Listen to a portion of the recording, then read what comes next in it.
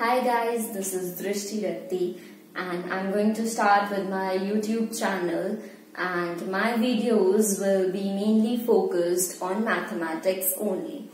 And the first thing that I'm going to start with is the trick to make your calculation fast and easy. That is the trick is to multiply a number with 5.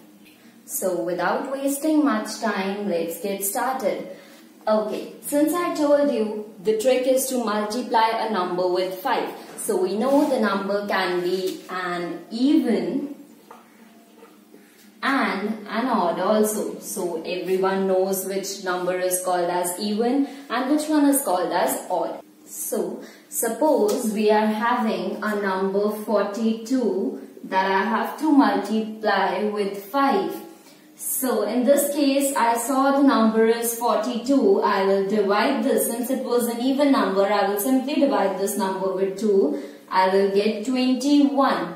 Now, always remember one thing, whichever number is a multiple of 5, that means if I'm multiplying a number with 5, the answer will be a multiple of 5 obviously. So, whichever number is a multiple of 5, that will either end with 0 or 5.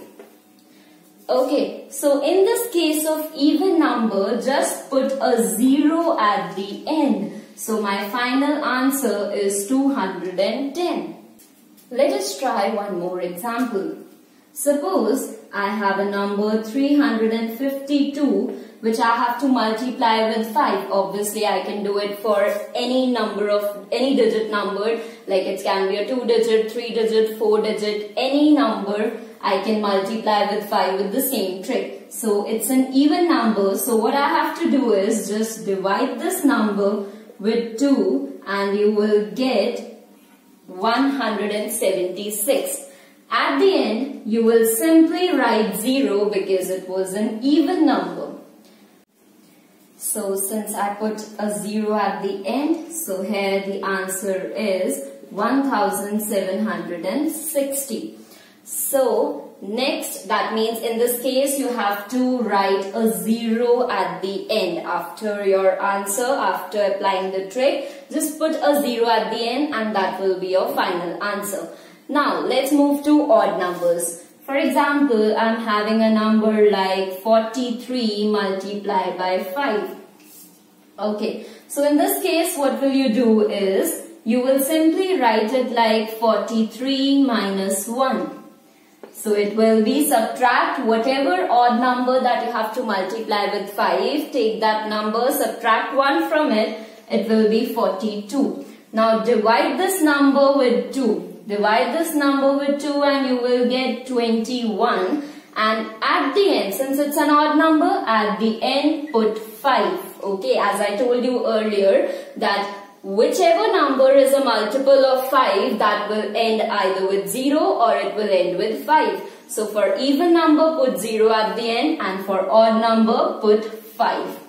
So 215 is your final answer over here. Let's try one more example. Suppose we are having 423 multiplied by 5. So in this case, just take the number 423, subtract 1 from it, you will get 422. Divide this with 2 and you will get 211. Now since it was an odd number, this one, since it was an odd number, put 5 at the end. So your answer is 2115. So you can check these calculations using your calculator also. And uh, basically these are the tricks which are going to make your calculations quick, fast and easy. So if you guys like what I taught today and want to learn more such tricks, then please like, subscribe, to my channel and share the video as much as you can. And uh, for now, thank you so much for watching and uh, bye-bye.